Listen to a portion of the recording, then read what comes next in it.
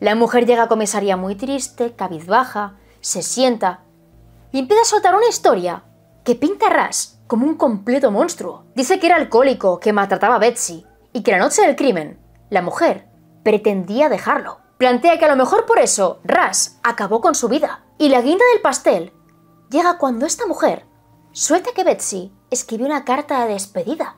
Cuenta que la carta está en el portátil de Betsy y que en ella lo confiesa todo. Muy buenas a todos y bienvenidos un día más a mi aterradora biblioteca. Por si no me conoces me presento, mi nombre es Nekane Flisher y cada semana, si todo va bien, traigo a este canal los misterios más impactantes de la historia. El día presente os traigo un caso que os hará desconfiar de todo el mundo, de vuestros padres, hermanos, parejas y por supuesto de vuestros mejores amigos. Y es que os traigo la historia de Betsy Faria, y de cómo alguien muy cercano a ella acabó con su vida. Pero antes de empezar te recomiendo seguirme en mis otras redes porque por ahí estoy súper activa. No subo casos, pero subo un contenido más variado que creo que te puede gustar. Y dicho esto, ahora sí que sí, no me enrollo más, y si queréis saber qué le pasó a Betsy, ya sabéis, apagad todas las luces, cerrad todas las puertas y poneos cómodos, porque aquí empiezan vuestras nuevas pesadillas. Y bueno, y así más, empezamos.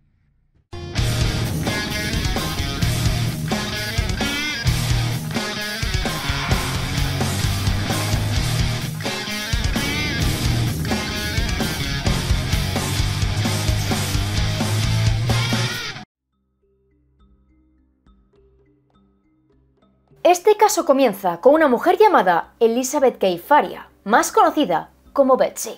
Ella nació el 24 de marzo de 1969 en Richmond Heights, Missouri, siendo una de las cuatro hijas de Janet y Kenneth Meyer. Según quienes la conocieron, era el alma de la fiesta, y no solo eso, sino también quien iniciaba todas las fiestas. Le encantaba salir, ir al cine, bailar, ir de acampada, el tenis, era una persona muy activa y allá donde fuera siempre hacía amigos. Siendo bastante joven, se casó y tuvo dos hijas, pero este matrimonio no funcionó, con lo cual se divorciaron. Aunque debo deciros que fue con buenos términos. Para 1999 trabajaba en una gasolinera y allí conoció a su segundo marido, un hombre al cual ella consideró el gran amor de su vida, Russell Faria. Ella era una persona realmente extrovertida. Lo primero que noté en ella fue que tiene unos ojos hermosos, una sonrisa hermosa y una personalidad muy alegre. Supongo que eso es lo que me atrajo hacia ella. Tenía ese tipo de estilo, ese tipo de forma de ser que nunca viene un extraño. Russell, más conocido como Russ, era un cliente habitual. Iba a repostar, de vez en cuando compraba algo.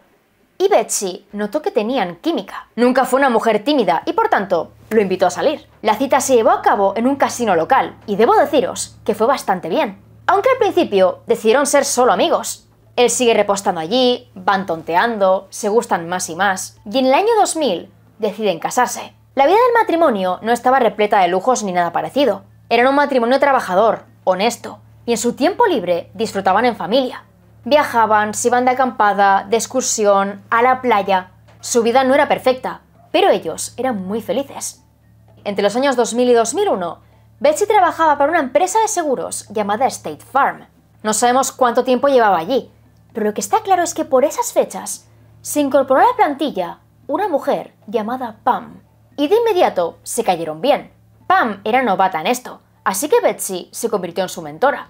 Le muestra cómo va todo, le da consejos, la acompaña en el proceso. Y algo interesante es que se hacen más o menos amigas.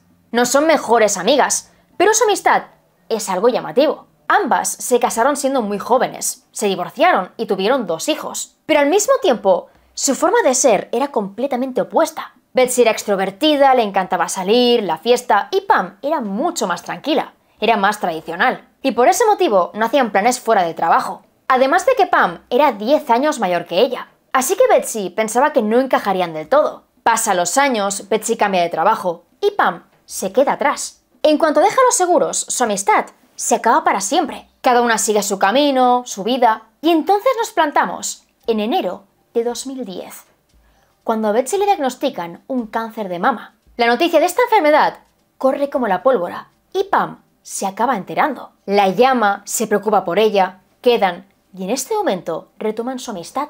En Pam, sorpresivamente, Betsy encuentra una mejor amiga. Iban a dar paseos, intercambiaban libros, los comentaban, Y cuando tenía quimioterapia, Pam estaba siempre presente. De hecho, cuando Ras no podía acompañarla, Pam se encargaba al 100%. Su amistad era algo maravilloso.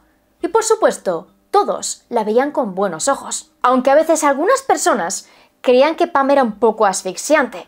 Un mes más tarde me pidió que fuera con ella a uno de los tratamientos en el centro oncológico. Pero cuando llegué, Pam Hub ya estaba sentada a su lado, así que no podíamos hablar. A partir de entonces, Pam Hub llevó a Betsy a cada una de las sesiones. Declaraciones de Kenneth Meyer, padre de Betsy. Con el paso del tiempo, Betsy creía que superó el cáncer. Se encontraba mucho mejor, parece que había remitido. Así que en noviembre de 2011 organizó un crucero de vida. Iba a ser un crucero amistoso, con amigos, familiares, con sus hijas. Pero justo antes de llegar a zarpar, el médico le dijo que no era así. El cáncer no había remitido, sino que más bien se extendió. Sin embargo, la mujer era muy positiva. Podía morir en dos años, en uno, en pocos meses, y el tiempo que le quedase no lo pasaría triste en la cama. Iba a seguir luchando, siendo positiva, alegre. Iba a hacer feliz a los suyos. Así que sube al barco y lo pasa estupendamente. Ella no quería estar triste, sabía que tenía muchos días tristes por delante y que iba a hacer que cada día fuera lo más feliz posible para ella y para quienes la rodeaban. Y eso era lo que estaba haciendo hasta ahora, hasta el final. Declaraciones de Ras, marido de Betsy. Durante todo el crucero, Betsy disfrutó al máximo. Reía, bailaba, lo pasaba bien, contaba chistes, hizo lo posible para que la gente no se entristeciera. Pero al regresar a casa, se hundió. No quería morir sufriendo. Y no quería dejar un mal recuerdo en la mente de sus hijas. Quería dejarlo todo bien atado, que no hubiera problemas cuando se muriera, que estuviera todo bien organizado. Y una cosa que la preocupaba es que Ras no gestionaba bien el dinero. Las finanzas no eran lo suyo. Y su mayor temor es que al poco tiempo Ras lo perdiera todo, con lo cual sus hijas no tendrían nada. Cuando estaba sana, contrató un seguro de vida por valor de 150 mil dólares. Y una vez muriera, Ras se lo llevaría todo. Con ese dinero, la familia podría ser muy feliz. Podrían pagar las facturas sin problemas, ropa para las niñas, comida, los estudios. Podrían estar muy tranquilos. Pero al mismo tiempo, Betsy conocía a su marido. Y esos miedos suyos los compartió con su mejor amiga. Durante algunos días comentaron el tema. Dijo que tenía miedo de perder el dinero, de que se quedaran sin nada, de morir y dejarlos solos. Y entonces Pam dio un paso al frente y le dijo que ella se ocuparía. Así que el 22 de diciembre de 2011 fueron juntas al notario y cambiaron el nombre del beneficiario del seguro de vida. Desde ese momento ya no sería Ras, sino su querida Pam. Pam prometió que después de su muerte crearía un fideicomiso directo para las niñas, que ella lo gestionaría, que no se preocupara, que todo estaría bien controlado. Y Betsy se relajó. Aunque debo deciros que Ras no sabía nada de esto. Sabía que el seguro existía, pero al mismo tiempo ni siquiera se planteaba estas cosas. Ahora Betsy vivía, ahora estaba con él, y por tanto no quería pensar en el mañana. Los días pasan y nos plantamos en el martes 27 de diciembre, día en el cual el matrimonio tiene diferentes planes. Por un lado tenemos a Betsy, la cual esa misma tarde iba a ver al doctor. Algunas fuentes dicen que tenía quimioterapia y otras que era una simple revisión. Pero sea como fuere después de esta, iría a ver a su madre. Tomarían algo, charlarían, descansarían. Y en segundo lugar tenemos a Ras, el cual quedó con varios amigos para ver películas. Iría para allá en coche, lo pasaría bien y después recogería a Betsy en la casa de su madre. Hasta aquí el plan estaba muy claro. Ras sube el coche a las 5, se va para San Luis, a casa del amigo, y cuando lleva un par de horas, Betsy le manda un mensaje por el móvil y le dice que Pam irá a recogerla. Este escrito lo deja un poco a cuadros. Betsy por la tarde tuvo que ir al médico y fue acompañada por su padre, pero estando en la consulta, Pam apareció. Parece que fue un encuentro casual, pero es que después en casa de su madre, Pam también apareció. Era todo muy raro, pero Pam, recordemos que era su mejor amiga. Y Ras en este momento se sentía muy mal. Se fue con los amigos, se lo pasaba bien, y mientras tanto, Betsy fue al doctor y a la casa de su madre. Ni siquiera podía recogerla, ya lo haría Pam en su lugar. Así que por la noche, cuando Ras sale de casa de su amigo, llama a su mujer. Llama una, dos, tres veces, y viendo que no responde, piensa que está dormida. Ha tenido una tarde muy larga, agotadora. Así que para compensar, a este hombre se le ocurre una gran idea. Y es que antes de pasar por casa, se detiene en un Airbus a comprar la cena. La parada la hace a las 9 de la noche y debo deciros que todo queda registrado en cámara. Se ve su coche llegar, la matrícula, se ve que espera allí, que recoge la comida y cuando pasa el rato, se va para casa. El tiempo de trayecto que le queda son 25 minutos y llega a casa más o menos a las 9 y 40. Abre con la llave, deja la comida en la entrada, llama a su mujer y viendo que no responde, piensa de nuevo que está completamente dormida. Estará agotada, exhausta y por ello decide no molestarla. Agarra la comida, se va al comedor a montar la mesa y en ese momento se encuentra que al lado del sofá, tirado en mitad de un charco de sangre, está el cuerpo sin vida de su esposa. La escena era aterradora y Ras estaba tan en shock que no procesó nada. Vio las muñecas cortadas, un cuchillo clavado en su cuello, mucha sangre. Él solo vio eso. Se acercó a ella, la movió, la tocó, vio que estaba muy fría, rígida, y estaba tan nervioso que no vio más. Sacó el teléfono y llamó al 911. Y lo primero que dijo fue que Betsy se quitó la vida. Como os digo, él no vio nada más. Habla con la operadora como 10 minutos, está histérico, hiperventilando. Y cuando llega la policía, lo primero que hacen es sospechar de él, ya que según los forenses, Betsy no tiene solo lo que él ha visto, sino que en todo su cuerpo tiene 55 puñaladas. La atacaron con tanta saña que se dejaron un cuchillo clavado en su cuello. Y debajo del cojín del sofá había otro cuchillo. No sabían exactamente cuándo murió. Dos horas antes, tres, treinta minutos. Y por increíble que parezca, aún había más cosas raras. La casa no tenía restos de limpieza, es decir, nadie limpió la sangre. Pero al mismo tiempo tampoco había huellas, ni en los cuchillos, ni en el cuerpo, ni en ninguna esquina. No obstante, en la planta de arriba, dentro del armario, había unas zapatillas de ras manchadas de sangre. Y otra cosa importante es que la familia tenía un perro bastante agresivo. Si te conocía era muy dulce, pero si no, podía morderte. Y en el momento en el que esto pasó, el animal estaba atado fuera. La persona que lo sacó a la fuerza era de su confianza. Y de buenas a primeras, para la policía ese alguien tenía que ser Ras. A las 11 de la noche lo llevan a comisaría.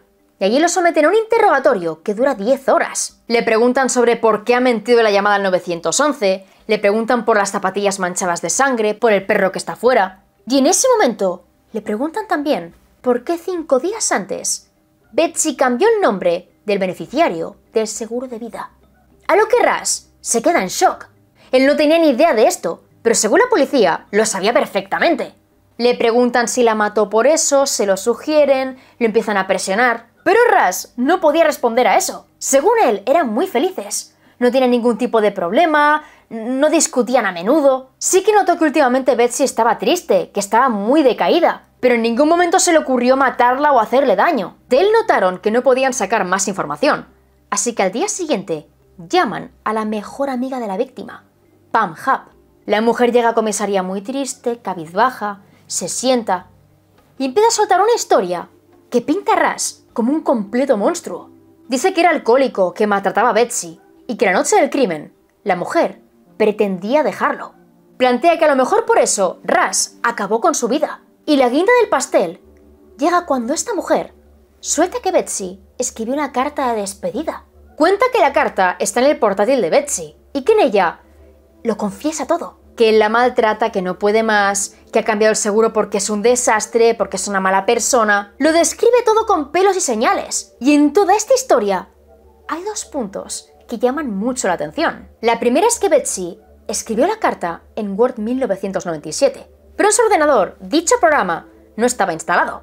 La segunda es que dicho documento fue creado por un usuario desconocido. No era un usuario registrado en este ordenador y por tanto podía haberlo escrito cualquiera. Y en tercer lugar, parecía que Pam sabía perfectamente lo que había en esa carta. Cada palabra, cada punto, cada coma, cada espacio. Y cuando le preguntaron por eso, Pam dijo que es que Betsy se lo contó con mucho detalle. Esta mujer sabía tantas cosas que le preguntaron qué fue lo que hizo el día del crimen, a lo que ella habló como una gran amiga. Estaba preocupada por Betsy y por ello fue al doctor. Va a la consulta, se encuentra con ella, le pregunta qué tal, qué está haciendo y después, ya por la noche, va a casa de su madre. Dice que le pilla de paso, que está por la zona dando vueltas y que por ese motivo recogió a su amiga. A partir de aquí llegan las contradicciones. Dice que la lleva a casa en coche y que a las 7 más o menos se despide de ella. Primero dice que no llega a entrar en la casa, después que entra en el recibidor. Y en una tercera versión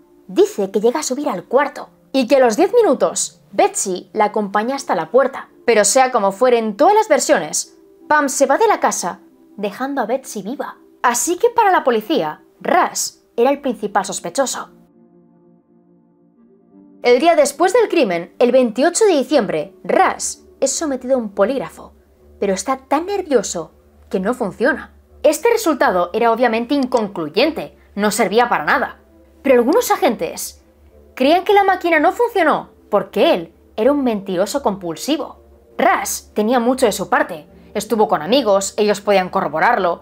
Luego se fue en coche por la cena, las cámaras lo grabaron, captaron su matrícula. Había mucha gente que decía que fue un esposo increíble y las hijas de Betsy decían exactamente lo mismo. Pero lamentablemente la policía no se creía nada y decidieron revisar el registro telefónico del teléfono de Betsy. A las 7 de la tarde, llama una amiga suya para decirle que al día siguiente no irá a tenis con ella. Y a los 5 minutos, la llama su hija Lia para decirle que en un rato irá a una tienda de teléfonos a actualizar el que tiene. Quiere comprarse un modelo superior, pero en ese momento es menor de edad, con lo cual para algunas cosas tendrá que hablar su madre. Le pregunta si no le importa que en unos minutos la llame el hombre de la tienda, y Betsy dice que no, que no pasa nada. Todo parece en orden, no hay ningún problema. Pero a las 7 y 20 Lia la llama y Betsy no responde. Llama una, dos, tres veces y al no responder se queda sin teléfono. Con esta información, la policía habla de nuevo con Pam, la cual estaba con ella. Y Pam verifica que a las 7 de la tarde Betsy estaba estupendamente. De hecho, a esa hora hablaba con una amiga por teléfono y mientras tanto, ella llamaba a su marido. Así que este hombre escuchó a Betsy de fondo era todo increíblemente surrealista y todas las pistas apuntaban a Pam, pero en este momento la policía solo pensaba en Ras. Así que el 4 de enero de 2012, durante el funeral de Betsy, Russell Faria fue arrestado y acusado formalmente de asesinato en primer grado. Se fijó para él una fianza de 250 mil dólares y debo deciros que no podía pagarla, con lo cual se quedó en prisión a espera de juicio, el cual se fijó para el 18 de noviembre de 2013. Pese a pasar un año en prisión, Ras tenía la esperanza de que el juicio al menos fuera justo. Pero cuando llegó el momento, se dio cuenta de que no era así. La defensa demostró de sobras que no había pruebas físicas contra él. Tenía muchos testigos, gente que lo apoyaba, gente que decía cosas buenas de él, las cámaras de vigilancia, el coche lejos de casa. Y la ubicación del móvil demostraba que en el momento del crimen, Ras estaba lejos de allí. Ni en su cuerpo, ni en su ropa, ni tampoco en su coche había ADN de Betsy. Sus huellas no estaban por ninguna parte y la casa no estaba limpiada. No había restregones de sangre, nada en su contra. Pero la acusación tenía respuesta para todo. Para empezar, dijeron que Ras la atacó desnudo y que después se duchó. Pero la defensa alegó que a la fuerza tendrían que haber encontrado algo. Y si no en su cuerpo, en la ducha y en las tuberías. Y se demostró de sobras que no había nada. En segundo lugar, estaban sus zapatillas llenas de sangre. Y es que según ellos era una prueba irrefutable pero la defensa decía que más que salpicadas estaban sumergidas en sangre, como si alguien las hubiera agarrado y las hubiera manchado. En tercer lugar estaba el porqué del crimen. Y es que cinco días antes, Betsy modificó el tema del seguro de vida. Y Russ se enfadó muchísimo. O quizás era una combinación de dos cosas. Del tema del seguro y de que Betsy quería dejarlo. Y ya para acabar, la acusación tenía una super teoría de la conspiración. Y es que todo el mundo conspiró para matar a Betsy. Los amigos de Russ, para ellos, estaban implicadísimos. Se quedan con su móvil mientras él mata a Betsy, mueven su coche, lo ponen bajo las cámaras, hacen como que él compra la cena. Era todo hiper absurdo, no había pruebas de nada. Y lo más inquietante es que todo apuntaba a Pam desde el minuto uno, y aún así, solo pensaban en Russ. La defensa no podía ni siquiera plantearlo, no les dejaron hacerlo. Y en diciembre de 2013, Russell Faria fue condenado a 30 años de prisión sin posibilidad de libertad condicional. Pero lo peor de todo es que durante el juicio tuvo que escuchar a la supuesta mejor amiga de su mujer decirle a todos lo que hizo con su dinero. Y es que según ella, 100.000 dólares fueron para un fideicomiso para sus hijas y otros 50.000 para una niña que ese mismo año murió por el cáncer. Una niña que, por cierto, Betsy nunca conoció.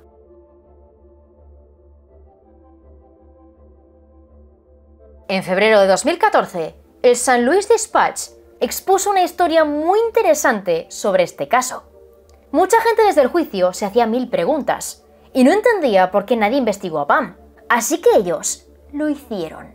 Y descubrieron que los 150.000 que Pam se había agenciado ni se encontraban en fideicomiso ni tampoco se habían donado. ¿Qué pasó con el dinero? Era un misterio. Pero es que además sacaron a la luz que Pam se había contradecido mil veces. En su testimonio se contradijo muchas veces. Que no entró en la casa de Betsy, luego que sí, que subió a su cuarto, que bajó, que Betsy la acompañó. Y otra cosa interesante es que la muerte de Betsy se dio cuando supuestamente debía estar con Pam. O estaba con Pam, o esto pasó cuando justo ella se fue. Si estuvo más rato en la casa, tenía que haberlo presenciado. Y con tanta contradicción, no estaba claro. Para los siguientes meses, Ras pidió un segundo juicio. Y en junio de 2015, aceptaron su petición y lo dejaron en libertad condicional.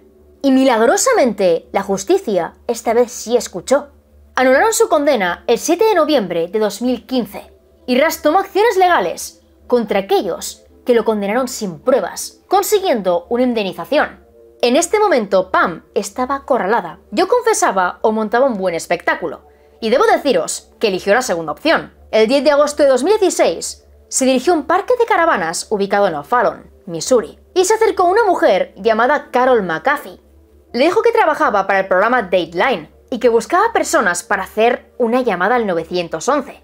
Iba a ser todo falso. Ella fingiría ser una víctima, Carol tenía que atacarla, y por solo 10 minutos le pagaría en efectivo mil dólares. Era muchísimo dinero, y en ese momento Carol tenía problemas económicos, con lo cual esto le iba muy bien. Sin embargo, notó varias cosas raras. Para empezar, el programa Dateline tenía sede en otra ciudad, en otro estado, y el coche de esta mujer tenía matrícula de Missouri. No solo estaba esa matrícula, sino que además no había pegatinas de coche de alquiler. Y en segundo lugar, la mujer le estaba diciendo que no podía llevar consigo ningún tipo de identificación. Ni el carnet, ni las llaves, ni el móvil. Así que para ella, esto era una estafa. Estaba convencida de que todo era mentira. Pero la mujer no paraba de insistir. Y en su mente Carol pensó que si subía al coche, ella podría defenderse. Pero un niño no podría hacerlo. Mi pensamiento fue, si vas a lastimar a alguien, me aseguraré de que no sea un niño. Carol hace varias cosas. La primera es entrar en casa y tomar dos cuchillos, los cuales se esconden en la ropa. Y la segunda es tomar su móvil, ponerlo en silencio y esconderlo también. Y algo muy importante es que no lleva zapatos. Se sube al coche, va con esta mujer, nota que es cada vez más y más rara, que le cuenta cosas muy extrañas, y a medio camino le pide que pare y vuelvan a casa. Porque se acaba de dar cuenta de que no tiene zapatos. Dan la vuelta, Pam la deja en la puerta de su casa, la deja justo en un ángulo en el que hay cámaras de vigilancia, y por tanto, su coche queda registrado. Está ella al volante, es su coche, y también se graba la matrícula de este. Carol la echó a gritos, y Pam, muy avergonzada, se fue corriendo de la escena. Pero lamentablemente, nuestra gran amiga Pam tenía un plan que no podía dejar a medias. Así que el 16 de agosto fue a por otra víctima. Un hombre de 33 años, llamado Luis Royce Gumpenberger. Este sujeto tiene una grave discapacidad, ya que tiempo atrás sufrió un terrible accidente. No pensaba como un adulto y lamentablemente confiaba en cualquiera. Vivía con su madre y era un hombre muy tranquilo, muy sociable. Así que cuando esta señora se planta ante él y le ofrece un gran trabajo, no lo piensa dos veces. Va a casa de esta mujer, montan toda una escena y ella saca el teléfono y llama al 911. A partir de aquí se desata el caos. Le dice a la operadora que un hombre adulto se ha colado en su casa y que le exige el dinero de Russell, que la está acosando, que la agrede, que ella le ha hecho una llave de karate, que le ha cortado el cuello, que él la sigue atacando. Y una vez dentro de casa, agarra una pistola y abre fuego contra él en cinco ocasiones. Cuando llega la policía, la escena es un completo drama. Luis evidentemente ha fallecido y la mujer cuenta lo mismo que la operadora. Pero a partir de aquí, aparecen cosas que no tienen ni pies ni cabeza. Para empezar, en el bolsillo del hombre hay una carta escrita a mano en la cual detalla punto por punto lo que va a hacerle a Pam, que le va a cortar las muñecas, que le va a dejar clavado un cuchillo en el cuello y que va a reclamar el dinero de Russell. Hasta aquí parece que sí es un agresor. Pero días antes, Pam compró papeles exactamente idénticos a este. Además, días antes, también compró un cuchillo. En segundo lugar, también compró una alfombra, la cual se encontraba justo debajo del cuerpo de este hombre. Esa alfombra era idéntica a la que ya tenía en el comedor, así que estaba clarísimo que la compró para no manchar la original. Por otro lado, en el bolsillo de la víctima había casi mil dólares en efectivo. Y este dinero tenía siempre el mismo número de serie. Y en el armario de Pam había más billetes con el mismo número de serie. Así que estaba clarísimo que era una escena montada. Pero la guinda del pastel viene con la ubicación del teléfono de Pam, ya que la situaba en el barrio de este hombre. Esta señora fue arrestada el 23 de agosto de 2016 y fue acusada de asesinato en primer grado. Pero en comisaría pidió ir al baño. Y una vez allí, sacó un bolígrafo, se apuñaló en el cuello y se cortó las muñecas. Su juicio fue muy interesante, porque a través de este se vio que a lo mejor este no era su primer crimen. Su madre falleció el 31 de octubre de 2013 y la causa de la muerte fue realmente extraña. La mujer cayó misteriosamente de un tercer piso y la autopsia reveló que en su cuerpo había tres veces más la cantidad recomendada de tranquilizantes. Así que al menos en apariencia su muerte era sospechosa. Pero eso no es todo. Y es que en noviembre de ese mismo año, la policía recibió una carta anónima en la cual sugerían que Pam la mató. Alguien decía que todo apuntaba a ella, y aún así no lo investigaron. Pasa el tiempo y la policía descubre una grabación en la que esta mujer dice lo siguiente. Mi mamá vale medio millón que recibiré cuando ella muera. Si realmente quisiera dinero, encontraría la forma más fácil de luchar contra alguien que es físicamente más fuerte que yo. Con estas pruebas, el caso de su madre en ese momento empieza a investigarse. Y por el caso de Luis, Pam es condenada a cadena perpetua sin posibilidad de libertad condicional. Y la guinda del pastel llegó en octubre de 2023, cuando por fin la acusaron formalmente del asesinato de Betsy Faria. Y su juicio finalmente ha sido programado para 2025. Así que ahora es tu turno. ¿Tú qué opinas del caso? ¿Y crees que finalmente se hará justicia? Y bueno chicos, hasta aquí el vídeo de hoy. Espero que os haya parecido un caso muy interesante y que de ser así me dejéis un buen like y un comentario aquí abajito. Porque ese pequeño gesto ayudaría muchísimo al canal. Pero antes de despedirme, déjame que te dé una información extra. Y es que al parecer, Russell Faria, el marido de Betsy, está actualmente con Carol McAfee, la mujer que casi fue timada por Pam. Se conocieron durante el juicio y parece que hicieron muy buenas migas. Así que la palabra secreta es, es amor. Deja amor aquí abajito y en cuanto lo vea, en cuanto pueda, te daré like. Y ahora sí que sí, voy despidiéndome. Aquí abajo tenéis todas las fuentes consultadas, enlace directo donde conseguir mis libros y todas, pero todas mis redes. Tengo Facebook, Twitter e Instagram y...